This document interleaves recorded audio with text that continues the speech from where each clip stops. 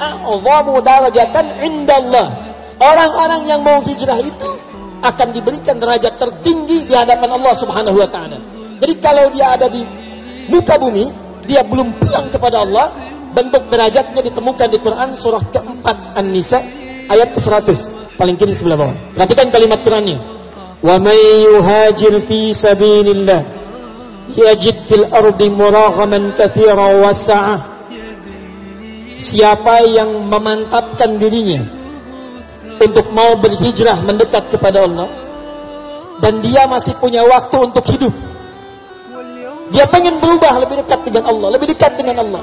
Maka kata Allah saya akan berikan keutamaan saat di dunia kelapangan kedamaian ketentraman ketenangan dalam hatinya.